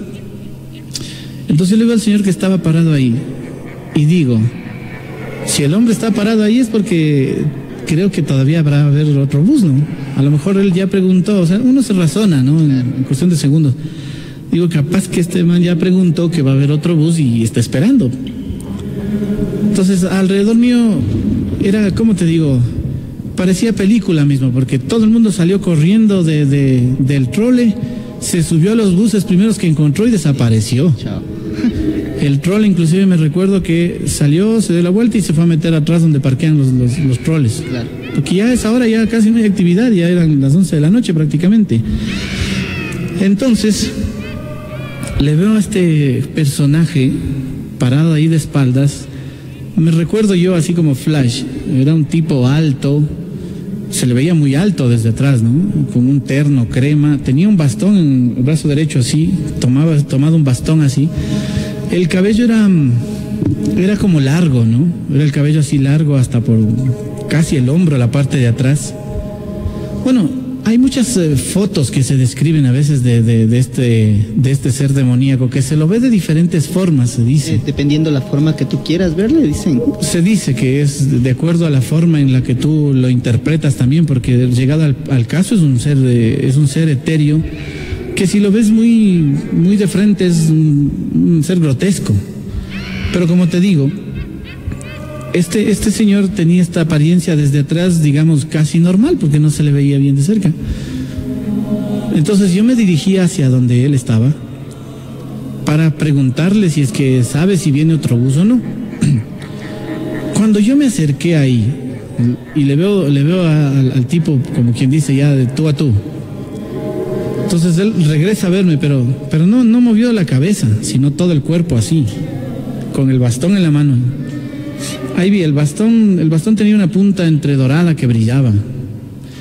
Eh, bueno, yo alcancé, como quien dice, a escanearle por un segundo al, hombre, pero lo que más me impactó y me dejó frío era la mirada del tipo porque la cara era como un poco alargada, con una chiva prominente, o sea, tenía un candado, con una chiva media salida así como tipo faraón. Los ojos no tenían la parte blanca, era todo negro, no había parte blanca. La nariz era un poco puntiaguda, una frente un poco amplia y el cabello era así como como las fotos de Mandrake más o menos. O sea, tenía el cabello así como escalonado hacia atrás. Claro, largo. Entonces el hombre regresa a ver así y, me, y, y le veo yo así y me quedo pasmado. Le iba a preguntar y me quedé sin poder hablar. Entonces eh, mi reacción primera fue darme la vuelta a ver si alguien más estaba al lado mío o, o alguien ahí atrás que le vea. Para lo que yo regreso a ver así y vuelvo a ver acá ya no estaba. O sea, desapareció en ese instante. Característica del caso, olor a azufre. Un olor a azufre bastante fuerte. O sea, no sé si alguien de ustedes no ha olido el azufre, traten de buscar, es un polvito amarillo que sale de los volcanes. Huele más o menos como huevo podrido. Exactamente, como dicen, el, el- el- el olor del huevo este hediondo. Pero era un olor así bastante fuerte en el mismo lugar donde estaba. Entonces, cuando yo regreso nuevamente a ver y no hay nadie, y empieza a temblarme el cuerpo, pues, y se me pararon los pelos de punta, pero más no poder, o sea, eh, m- empecé a temblar, o sea, empecé a temblar y, traté de salir corriendo lo más pronto que pude de ese lugar. Cuando llegué afuera me encontré con una señora y creo que era la hija. Y yo les decía, ¿hay algún carro, algo que me lleve al norte? O sea, no sabía qué hacer. Estaba confundido, no sé, entré en pánico. Y pasaba justo, me acuerdo, un, un bus de esos antiguitos que era color blanco con rojo, creo que eran estos buses interparroquiales, creo que eran. Bueno, pero se iba para el norte. Entonces yo agarré el carro y me fui hasta donde me llevé, que es cerca de Cotocollado, ahí tomé un taxi y me fui a mi casa. Pero llegué, o sea, paniqueado totalmente, o sea, blanco. Me decían, ¿qué te pasa? Y tal vez no te cogió mal aire. pálido, claro, claro, eso digo, llegué pálido.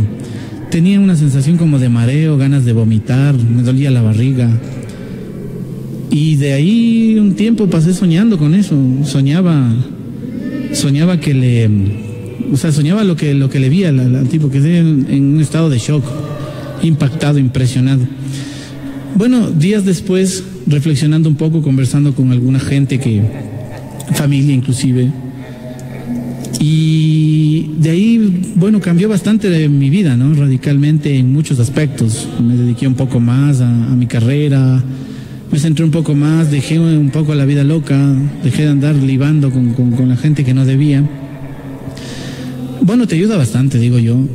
Creo que si fue para eso, pues se logró, pero la verdad es que tener una- un encuentro de este tipo es es súper impactante. O sea, no sé si a alguien más le ha sucedido, pero es, es algo que uno no puede describir solamente con contarte así de, de- de pasada. o sea, hay que vivir la sensación. Es una sensación indescriptible donde uno se descompensa por completo. Bueno, otras eh, experiencias así sí se han vivido en la investigación cuando, cuando hemos tenido de pronto encuentros con espectros o espíritus bastante fuertes y agresivos, que a la vez lo que quieren es eh, provocarte daño, ¿no? Eh, lo que hacen es tratar de golpearte, de, de botarte cosas. O sea, es bastante complicado. Es por esto que yo digo a los que hacemos investigación paranormal, tenemos que tomar en cuenta que no es una broma, no es un chiste, no es un juego, es algo real, es algo que uno lo vive y algunos inclusive no viven para contarlo. Ha habido Una que, perdón, que te...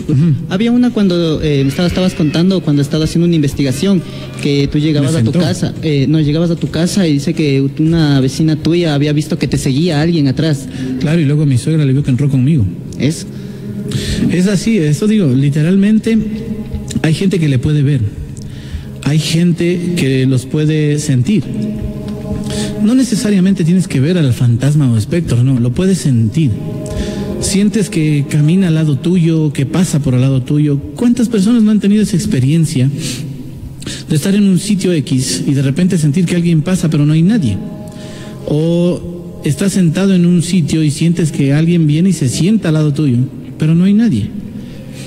Ese tipo de sensaciones es justamente las que se investigan cuando buscamos un posible eh, espectro o fantasma y vemos si en el lugar justamente hay este tipo de energía con el cual tenemos que entablar una, una conexión. Enviamos ahí saluditos para la gente que está escuchando. Dice, ok, saludos desde Quito, escuchando la radio desde que tengo seis años. Dice, ahora tengo 21. Siempre ha sido el mejor programa, te felicito, gracias. Rayo, porfa, cuenta la anécdota de la llamada que tuviste La de en cabina. Claro, Víctor. Así hablaba.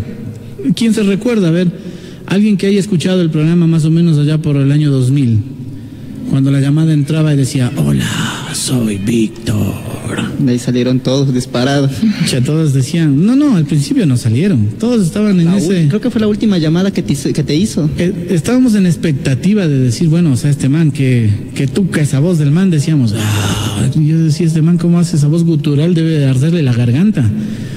Pero se oía tan natural y a lo que nos empezó a decir después ya era demasiado denso, ¿no? Yo te escucho desde niño, dice, jamás me enteré de eso, ¿puedes comentar? Charles nos envía por ahí esto. Bueno, a breves rasgos, porque ya les he contado tantas veces que hasta yo mismo ya Eso está más parece como un juego. No sé si hay escuchado un juego que fue censurado más o menos por el. Pero eh, responde. eh, sí, ese mismo. Claro, claro, ese mira, yo tengo este, yo tengo este juego ¿Ya? Que me vino en una computadora en este tiempo las XP, las Pentium 4 creo que era. Me vino Ah, ya, pero ya, ya. de casualidad, o sea, yo no aprendí, o sea, yo buscando encontré- Había una, había una forma de entrar también aplastando unas teclas, no me recuerdo bien, en el Excel 2097 creo que era. Y era literal, sí, salía una pantalla con fuego desde por atrás y un montón de nombrecitos que pasaban por ahí. Claro, y eso te digo. Eh, yo tuve esa experiencia, estuvimos con, un- con unos amigos, igual así como una mesa redonda y un, amigo mío estuvo, tenía también este juego. Y dice, oigan, tengo un juego buenísimo, dice, le digo, y no sabía la verdad cuál era, y comienza a contar, dice, es Pedro, responde, le digo, "Mm", digo, sí, sí, listo, pero no, eso no ha de ser verdad, le digo. Me dice, juguemos. Era tipo 10 de la noche, que nos reunimos todos, y teníamos cuatro amigos que estaban ahí, comienza a hacer preguntas y uno de ellos se comienza a reír, comienza a burlarse, decir que no, este man está loco, ¿cómo vas a ver eso? Y este Pedro se le coge, le coge el diente, como se le dice vulgarmente, a mi amigo que se llamaba Víctor y le comienza a decir todo Víctor, quiero jugar contigo, Víctor, quiero ju-". y él quería ya Los irse. Víctor creo son malditos.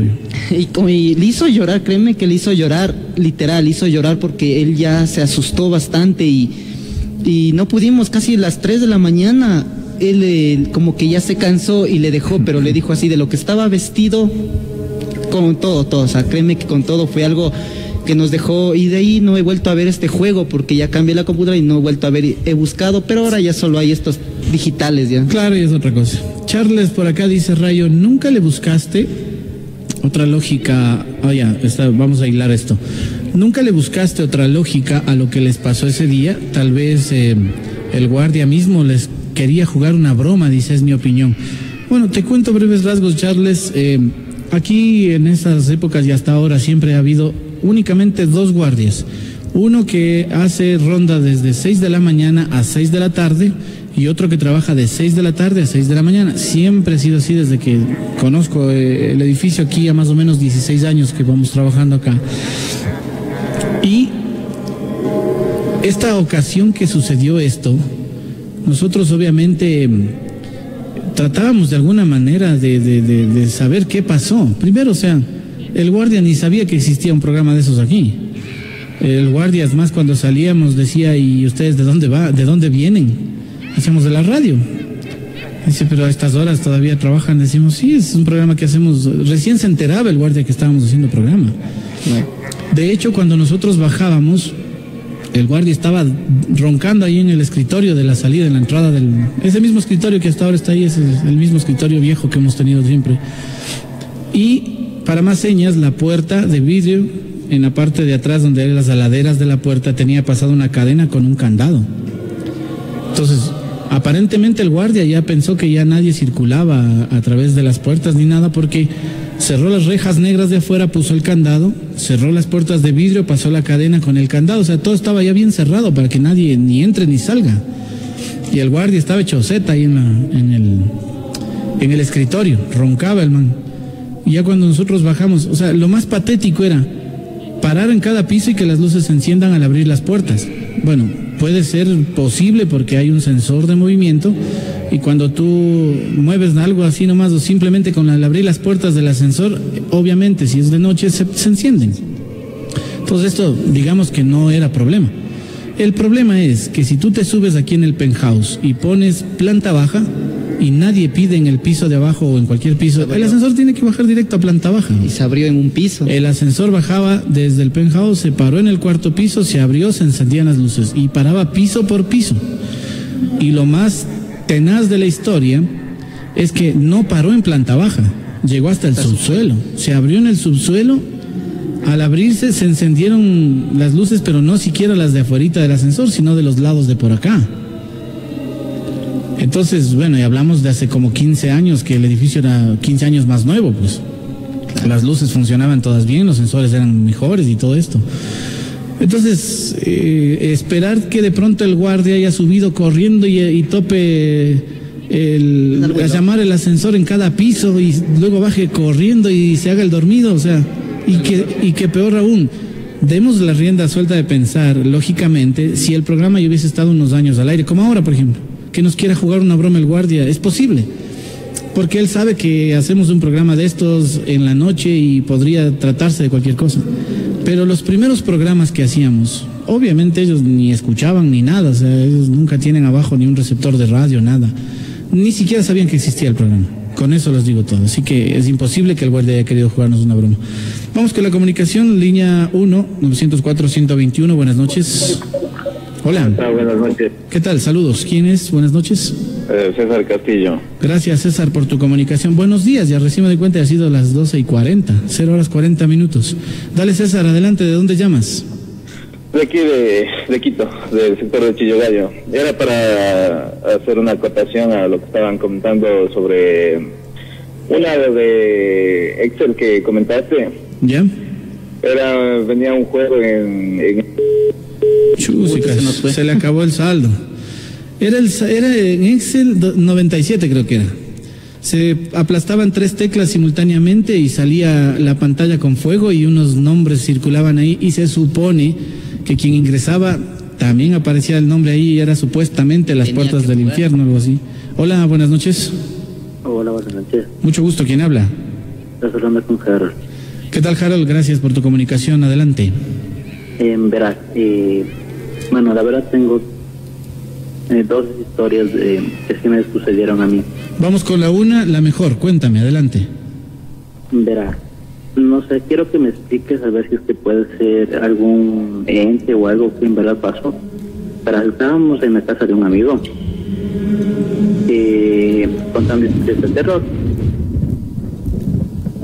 Pero, o sea, tomándolo así a la broma, porque estábamos solo entre jóvenes nada más. Y en eso les estaba contando una historia que a me había pasado en el Estadio Olímpico de Atahualpa. Y bueno, entre lo que pasó, o sea, lo que les estaba contando, ahí pasó otra cosa. Que mientras yo les estaba contando esa historia, la puerta del, de la habitación donde estábamos estaba cerrada. Y de la nada cogió y se abrió de golpe, se dio contra la pared y no, no y no se cerró de nuevo la puerta, sino que alguien como que puso el pie en la puerta y no se dejó cerrar. De ahí pues pasarían dos segundos y en la sala estaba el abuelito de uno de, de, de mis amigos que ya, bueno, lamentablemente ya falleció. Pero bueno, en esa época él era no vidente, entonces estaba sentado escuchando la radio en la sala. Cuando se digo, después de lo que pasó eso de la puerta, pasaron dos segundos y el señor se cayó.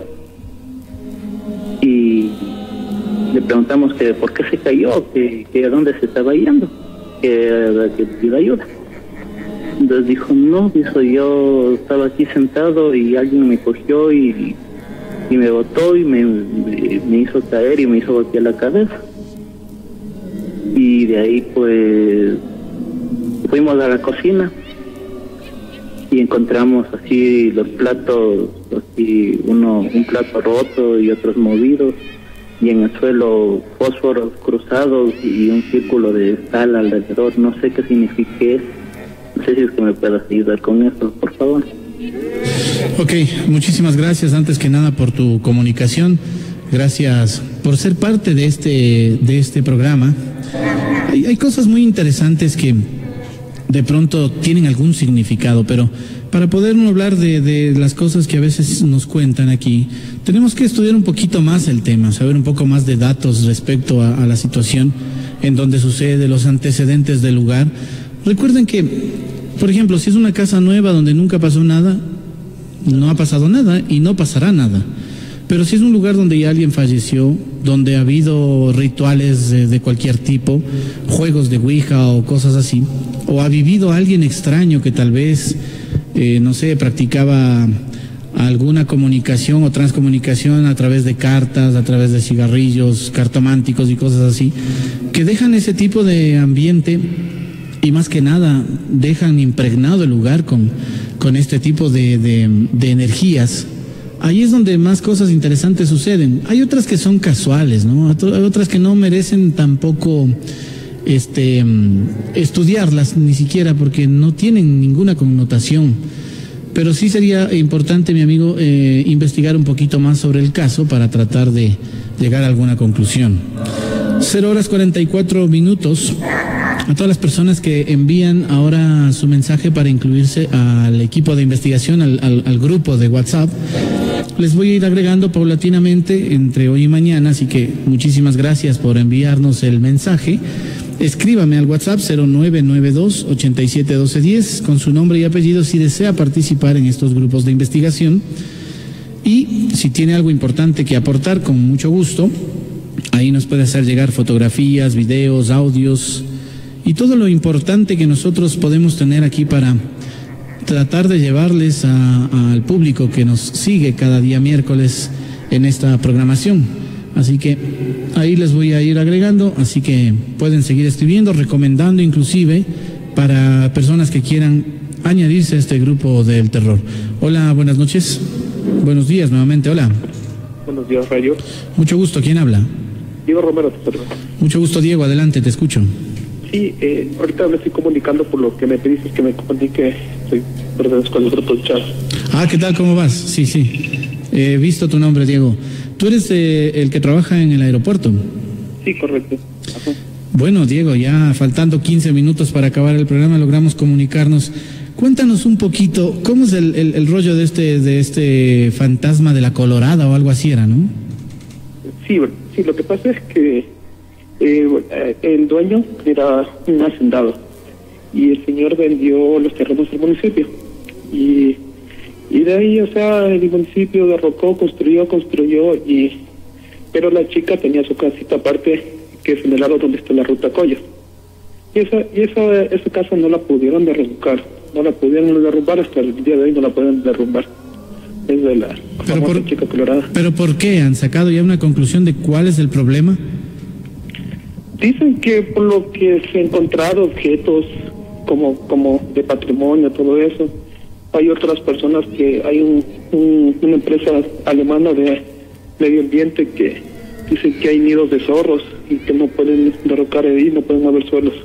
Sea, es algo, es algo una fuerza mayor que no, no hay como derrocar ese, esa casa. Ajá. ¿Y, ¿Y la gente de ahí qué opina del caso?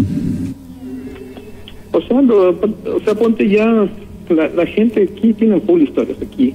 La gente del hangar de Tame. Por ejemplo, ahorita yo estuve, estuve, estuve en plataforma y hu- hubo un problema. Parecía que se nos había accidentado alguna persona porque empezamos a escuchar gritos en, en los DOIs. Los DOIs son los carritos que, que llevan las escaleras automáticas para que Las gradas para que la gente salga de los aviones. Correcto, sí. Y lo que y hace un año, o sea, saliéndonos un poco del tema de la colorada, hace un año fue que una señora falleció. O sea, no no entraré un poco de, de detalles porque siguen investigando ese caso. ¿Ya? Ajá, pero la señora falleció, le aplastó las gradas automáticas y todo eso. Y ahorita justamente estábamos en coordinación con un vuelo y, y empezamos a escuchar gritos de desesperación, o sea, auxilio, auxilio. Y eh, paramos toda la operación y o sea, le pedimos al capitán que pare turbinas para ver qué pasó, buscamos, buscamos y no había absolutamente nada. Solo eran los gritos, los gritos. ¿Sí? Una pregunta. Que, que sabemos, dijimos, no, es la, la señora que falleció hace un año, es, es ella. Una consulta. Ustedes tienen un circuito cerrado de cámaras de seguridad, ¿cierto? Sí, el aeropuerto cuenta con 92 cámaras de seguridad. Pero a esas cámaras solo tienen acceso la gente que maneja la seguridad ahí, nadie más, ¿no? Solo la DAC y es La una DAC. empresa pública. Claro, bueno, eso es inaccesible Correcto, sí. por seguridad nacional. Sí, eh, otra historia de la Colorada fue igual proporcionado. Ella, ella fue lo, lo grande que hizo fue que eh, un- una compañía American iba a aterrizar aquí en el aeropuerto de Quito. Y después el, eh, el, el capitán tuvo que hacer una maniobra peligrosa, derrapó, o sea, quiso aterrizar y de nuevo se alzó. Porque reportó una persona en la pista. Ella las características de una persona con vestido blanco, cabello largo, todo eso. Y fueron los personal de seguridad a, a la pista a ver qué pasaba y no, no, había nadie, no, no había nadie. Y las cámaras sí la habían visto en Por eso dieron, el torre de control dio coordenadas específicas a, a qué lado vayan a hacer la investigación, donde vio, donde reportó el piloto, la persona que vio en la pista. Oye, y, y de pronto eh, otros otros eh, pilotos o alguien más ha visto esto o solo pasa una vez? No, sí ha habido bastante gente, ha habido bastante gente que he visto. Hay gente de, de antinarcóticos y ellos tienen- trabajan toda la noche en la par con nosotros. Bastante gente tiene historia. Y la han visto en el avión, las personas que hacen limpieza, todo eso, las han, vi- las han visto dentro del avión, las han visto sentados. ¿Qué va? Sí. Interesantísimo. Sí, hay bastantes historias. Yo lo que comentaba Rayito en el grupo es que estoy tratando, como tú, tú dices, hay que tener los permisos y todo eso. Sí. Estoy tratando por lo menos a ver si vamos a hacer en la casa de la chica. Ah, sería genial, espectacular, porque prácticamente es el punto en el cual nos podríamos concentrar, ya que no nos interesaría mucho el resto de áreas, sino ese sitio específico que, como dices, eh, si es que de pronto, obvio, hay entierros de patrimonio nacional, se dice, porque todo lo que está debajo de la tierra le pertenece a la ciudad. Claro, eso- A- a- y así el terreno sea que- tuyo. Perdón, lo que encontraron en esa casa está en el municipio. Ya. No sé, no sacan la museo, no sé por qué no lo hacen todo eso. Claro, porque eso te digo, así sea tu casa, tu terreno, si está debajo de la tierra le pertenece a la ciudad. Tal vez sea que están esperando desenterrar el- todo lo que se encuentre en el lugar, ¿no? Bueno, debe haber alguna historia respecto a esto, porque los terrenos donde funciona ahora el, el municipio siempre han sido un área un poco como rezagada, se puede decir, de, de- de la ciudad, ¿no? Porque hablamos de, de Tababela, que inclusive ahora que ya está construido el aeropuerto, alrededor casi no hay edificaciones. Obviamente ahora ya no se permiten por lo que ya el aeropuerto está ahí, ¿no? Correcto. O sea, el- precisamente el aeropuerto salió de la ciudad por, los por los edificios. Era un estorbo para el aterrizaje de las aeronaves. Claro, era peligroso inclusive para la ciudad. Claro, ya estaba muy poblado. La ciudad estaba se convirtió como muy céntrica, se puede decir. Y, Entonces y así sobrepobló. Lo que ustedes nombraban, escuché en el programa, estuve atento a lo de Cubana. Así es. Pobre gente, más hondo fue que el avión se estrelló y toda esa gente se incineró. Todo, todo, todo fue descarbonizado. Claro, se volvió, se volvió un, un horno gigante el avión porque se incendió. Claro, eso fue un horno y, y verás que, o sea, no dejan de entrar en la noche porque todavía se sigue investigando, siguen investigando, la, la DAC sigue investigando Eh, todo lo que pasó. Ah, sigue investigando el accidente. Claro, desde la cubana que fue muchos años atrás. Incluso lo que comentaban del, el- de, la, de esta compañía que desapareció, Ícaro. Él dio la publicidad al- de Barcelona. El piloto conversó, bueno, entre nosotros en una reunión que tuvimos de aviación, conversó que él sentía como que le atrayeron, o sea, que le jalaron el, el mando de control para poderle elevarle la- el pico del avión y no pudo. Y fue justamente donde se accidentó el, el- donde se accidentó el, el, el cubana. Claro, piloto, por su reputación no, Inclusive no ahí, libremente. claro, ahí también se accidentó un avión gigante de Iberia, ¿no? Y casi Claro, en Liberia también pasó lo mismo. Claro, se dañó el sistema de navegación, me acuerdo, yo un tiempo recién estaba volviendo de Uruguay, eh, aterricé en Guayaquil y de Guayaquil a Quito no podíamos aterrizar por la neblina y no había sistema de navegación, se guiaban solo por luces. Fue terrible. Sí, mucha gente comenta que cuando estábamos en Quito, mucha gente comenta que ese lado estaba como, como, malde, como maldito. vez. Sí, ¿no? Inclusive- gente comenta que no pueden aterrizar y fue muy... Recordemos- Lo de Liberia fue por maldición de Recordemos de que-. Recordemos que en el mismo sector, lo último que pasó ya, incluso estando afuera ya el aeropuerto, se cayó un túnel donde le alargaron al aeropuerto para que los aviones no se accidenten y también mató gente. Ah, sí, justamente también, sí. Es un túnel que es más o menos parecido a los que quedan en la Simón Bolívar en la, eh, por el sur, como que te bajas a, Así es. a la Armenia. Son unos túneles parecidos. Da terror eso. Sí, sí, aquí, aquí se- yo paso toda la noche. Igual aquí el señor guardia que pasa, yo le mandé foto a los chicos que pasan muy distantes y en tinieblas. Él dice que el señor estaba durmiendo, estaba quedado dormido, despierta y ve en el espejo, le ve a la chica. El espejo así, que se, se le acercó de uno, de golpe. Terrible. Mi querido amigo, te agradezco muchísimo por habernos comentado esto y espero pues que en una próxima oportunidad eh, puedas también contribuir con algo más del tema. Sí, un gusto, sí, igual como te comenté, ojalá, ahorita estoy hablando también con unos amigos para ver si gente del aeropuerto vamos a tu programa Chévere. y hacemos algo chévere. Sería espectacular. Te- desde ya, pues bienvenidos y esperamos seguir en contacto a través del eh, grupo de WhatsApp donde estamos eh, poniéndonos de acuerdo, incluso a ver si realizamos alguna charla personalmente con la gente que está integrada al grupo y podemos llevar un poquito más allá las, investiga- las investigaciones, ¿ok? Sí, es algo bueno que está adelante y, y quiera Dios con la bendición de Dios salga adelante este grupo que es un creado Rayito y felicitarte y agradecerte. Muchísimas gracias, amigo. Bendiciones para ti, gracias. Gracias, Suerte en el trabajo. 0 horas 54 minutos. Ahí estamos entonces. Cualquier cantidad de gente que nos ha enviado solicitudes lo vamos a, a tomar en cuenta entonces para que pueda participar con nosotros durante la semana y podamos seguir sugiriendo temas para este programa, eh, aportando con buenos eh, materiales, por supuesto, lo que es eh, audios, eh, videos. Bueno, no tanto me interesan porque a veces veo yo en el grupo que ponen un montón de videos que descargan de la misma red y los, los ponen ahí, o sea, no tiene sentido. Porque para verlo en el grupo lo veo directamente en el YouTube o, en cualquier red social. Me interesan mucho las fotos personales, porque hay gente que a veces no puede enviarte al correo, no sabe ni cómo, pero hay fotos que tú tomas y tienen algo interesante y quieres investigarlo y no puedes.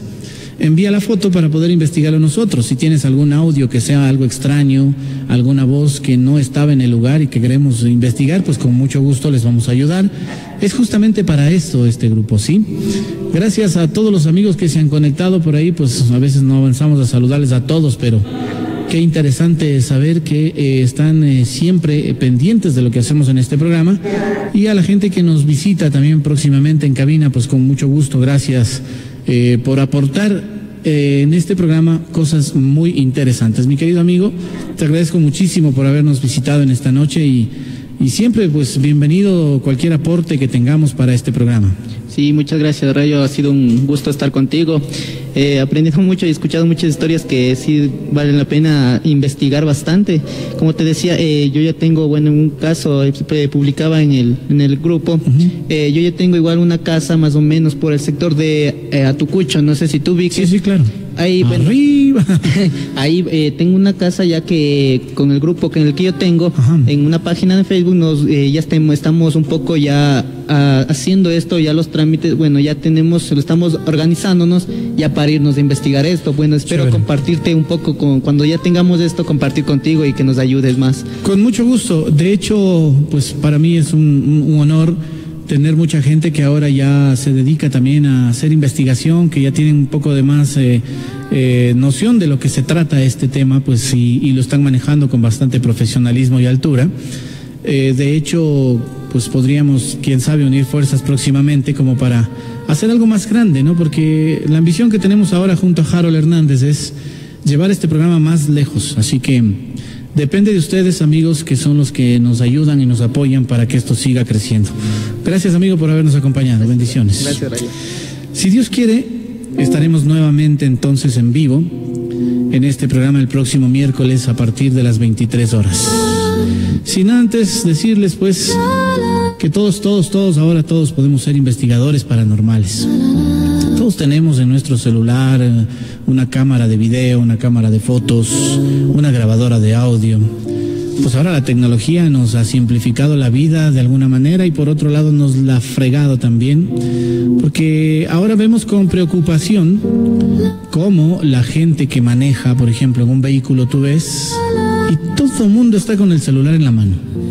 Es impresionante. Yo debería, no sé, a alguien que sea mm, algún ingeniero en sistemas que quiera asociarse conmigo, aunque sea buscamos auspicio de alguien, y creemos un chip inhibidor, el cual te subes al carro y inmediatamente te quedas sin señal. Yo creo que eso debería implementarse en los vehículos porque eh, es lamentable ver una cantidad de accidentes. Hay accidentes pendejos, se podría decir. Claro. Por estar viendo el celular, pum, se choca el uno contra el otro estando en una fila de autos. Yo creo- No se diga velocidad. Creo que esto mejor sería en las casas, porque imagínate que hasta comiendo ni siquiera te ves. Bueno, por último, en la casa sí ya depende de cada uno porque no corres el riesgo de matarte. ¿Ves? Pero en cambio en el vehículo hay mucha gente que por responder el mensaje no vio que alguien se cruza y, y de forma imprudente, ¿no? Y por ahí va volando. Claro. Entonces, eh, yo pienso y digo yo a todos ustedes, amigos que manejan su vehículo, que son, eh, que son choferes, aunque no sean profesionales, pero aparte piensen que la gente que circula en las vías también tiene familia, también tienen hijos, hermanos, qué sé yo, y les esperan en casa. Entonces, la imprudencia suya pagan otros justos por pecadores. Entonces, pongámonos pilas, ah, reflexionemos un poco, sí, no, no andemos con el celular ahí todo el tiempo haciéndole caso más al teléfono que a la carretera o, o al auto, sí. Eso muy importante. Por acá nos dice Punto Paranormal, excelente programa, esperamos poder conversar algún momento. Les recomiendo nuestra página, dice ahí en YouTube, investigaciones que tenemos, chévere. Esperemos compartir próximamente. De hecho, pues en el camino de la investigación, hace como 16 años ya en radio y más de 20 en, investigación, se puede aportar con algo, ¿no? A, a- a este, a este grupo o a estos grupos de investigación. Quisiéramos apoyarles de alguna manera para que esto siga adelante. Así que gracias a ustedes amigos por su sintonía. Ahí rapidito los últimos saludos. Para Denis Chávez nos dice, por favor envíame un saludo, gracias. Saludamos entonces para Denis, gracias ahí Pamelito Chávez que nos está sintonizando. Saludos a todos mis amigos, entonces nuevamente de, de este grupo en el cual estamos incluidos ahora mucha gente. Bienvenidos, sigan enviando su número, su nombre y apellido, que es muy importante para poder registrarle en, en el grupo y poder seguir eh, contribuyendo con material. Una última cosa, Rayo, si puede hacer.